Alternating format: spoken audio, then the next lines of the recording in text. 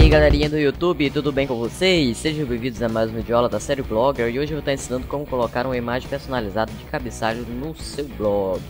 Ou seja, essa imagem aqui, uma imagem que é muito simples de colocar, ela fica bem legal, deixa seu blog com um design mais profissional, ok?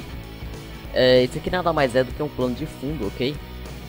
É, eu vou estar deixando uma imagem para vocês aí, uma imagem de, de cabeçalho, uma imagem transparente que é para justamente deixar esse espaço aqui, ó, que tá esse plano de fundo aqui, deixar esse espaço para que essa imagem ela se encaixe perfeitamente. É, ela é uma imagem bem transparente, ela vai, ó, vou colocar aqui em, quer dizer, eu já baixei essa imagem, vou mostrar para vocês como é que ela é. Olha aqui, ela é preta, preta, preta, preta, PNG, tá? Colocar aqui, ó, vocês não estão vendo ela, mas ela tá aqui, ó. Você vê aqui que ela tá aqui, ó, né? Então tá, após você colocar o seu cabeçalho lá, coloca essa imagem aqui, eu vou estar tá deixando é, o, o, tamanho dela em pixels aí pra vocês, ok? Salvar aqui, né? E vamos agora ao nosso blog de teste, vamos ao blog de teste. Vou estar tá abrindo esse novo teste TC, que eu estava fazendo também um teste nele, foi nele que eu fiz o teste. Tanto teste, teste, teste. Clicar aqui em editar para ver aqui, ó, já tá aqui com o cabelo cabeçalho preto, você coloca aí, tá? Uh, deixa eu colocar em vez de título e descrição, salvar. Vamos ver aqui, ele já vai estar. Tá, olha aqui, ó. Esse aqui foi o que eu fiz, tá? Eu vou estar tá removendo aqui para vocês poderem ver. Tá removendo esse plano de fundo aqui. Pra vocês verem como é que fica. Vou carregar aqui.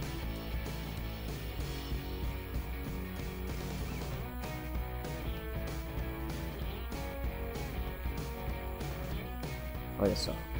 Vai ficar só esse espaço aqui, que justamente é esse espaço que vai entrar a sua imagem, que vai ser o seu cabeçalho.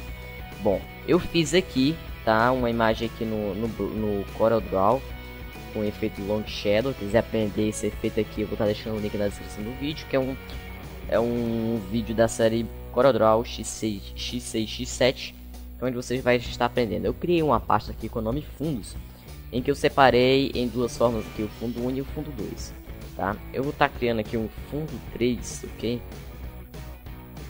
Você pode estar tá botando qualquer número aí, eu vou dar um ok. Uh, você faz, faça um retângulo, tá? Aqui, ó. Eu vou estar tá deixando... Sabe o que é melhor? Eu vou estar tá deixando... Não, não, melhor não. eu vou deixar as, mesmo as metragens em pixels, os cálculos em pixels para vocês. Então aqui você faça um retângulo, tá? Eu vou tirar aqui o contorno para ficar bem legal. Você vem aqui, vai lá em vai lá no seu blog de teste, aí você clica lá em modelo e personalizar. Vai abrir isso daqui, você vem em plano de fundo, clica na setinha, fazer upload da imagem. Vamos selecionar aqui o fundo 3. Vamos esperar carregar, já vai dar uma pré-visualização quando tiver carregado. Se quiser aprender a colocar essa caixinha de curtir aqui, basta você assistir o vídeo da série Blogger, vai estar na descrição do vídeo aí de como colocar o box de curtir do Facebook. Se clicar em concluído, não dividir em blocos e rolar com a página, tá? Então vamos ver aqui o primeiro erro. O primeiro erro que você vai se deparar é que ele não, ele não vai estar alinhado de acordo aí com o seu menu ou tal coisa. Isso aí você vai mexendo de pouquinho em pouquinho, pixel por pixel aí para você poder saber diretamente, para você poder colocar diretamente o é, a, o alinhamento com o seu menu, ok? Então nós queremos colocar ele aqui em cima dessa páginazinha aqui. Vamos supor que o menu está aqui em cima dessa página. Então para isso vamos apenas subir aqui o menu, ok? Vamos subir ele mais ou menos para cá, ó. Vamos exportar. Colocar aqui no fundo 2 para substituir. Sim. Vamos dar aqui um OK. Vamos lá no Google Chrome ou Firefox, qualquer que seja o seu. Vamos clicar novamente na setinha, fazer upload da imagem. Por que, que eu substituí o fundo o, o fundo o fundo 2? Porque se eu fosse substituir o fundo 3, ele não ia aceitar porque o que já estava aqui era o fundo 3. Então estava com o mesmo nome. Então, às vezes, quando eu resumo entre fundo 1 e fundo 2, é para não causar confusão na cabeça da gente de, de, querer saber, decorar uh, o, a codificação do, dos números dos fundos. Olha só aqui, ó, já está prontinho aqui, ó, você pode ver que é concluído não dividir em blocos. Muito rápido aqui, mas o meu é muito rápido que eu já tinha, já tinha feito, né? Aí vai depender do seu. Eu vou estar tá deixando, tô falando novamente isso, que eu vou estar tá deixando os cálculos na descrição do vídeo para que você possa ter uma base é, para você poder ajustar o seu sua imagem de cabeçalho. Então, aqui você já vê que o limite é esse aqui, ó. O limite, o limite abaixo é o do menu até aqui embaixo e o limite acima é até o fim da, da do objeto aqui em cima. Você pode ver.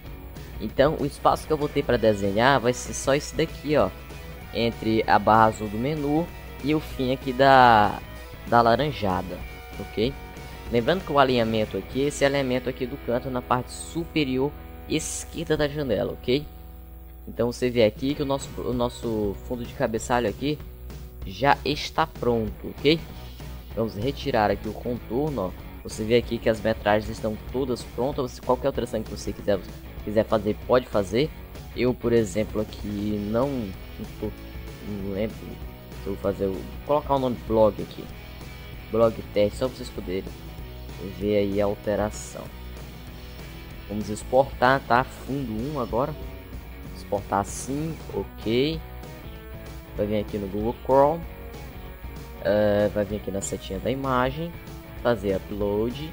Escolher arquivo. Fundo 1. Abrir. Simplesmente você vai aguardar.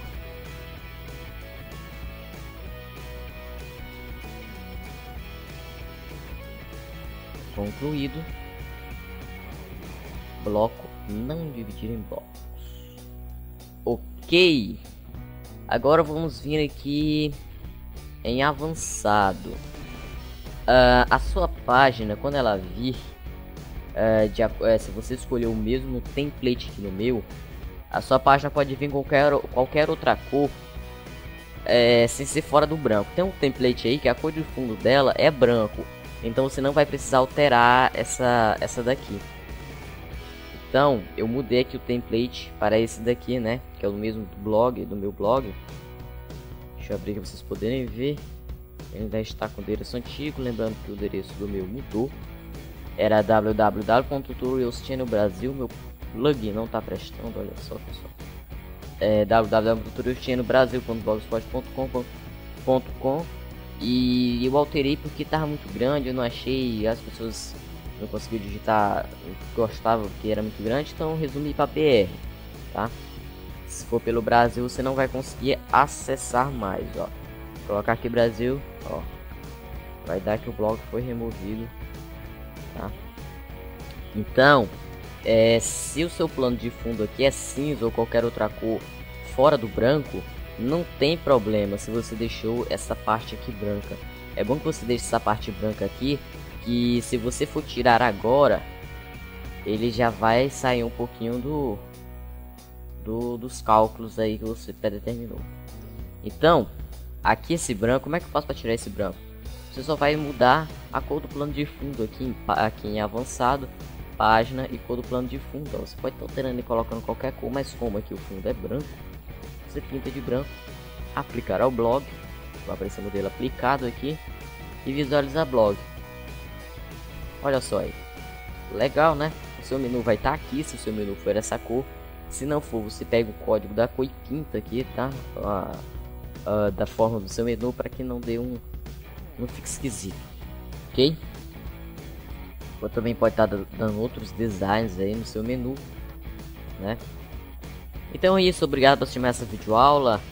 Uh, eu agradeço muito a vocês aí por estarem ajudando aí o nosso canal no YouTube. Ah, temos também um vídeo bem legal do box de curtir do Facebook vai estar tá, tá aqui, ó. Aqui, série blogger, como adicionar o box de curtir. Já vai ter aqui a videoaula 6 aqui, que é essa daqui de como adicionar um cabeçalho personalizado no Blogger. Ok, também tem a série CorelDRAW X6, X6, X7. Já estamos quase na última aula. Eu quero fazer 10 aulas e quando eu descobrir alguma coisa mais aí eu também continuo, eu vou continuar. Tá? Eu não sei se vai terminar, tem muitos efeitos legais aí. Tá, também tem as outras videoaulas aí, ó.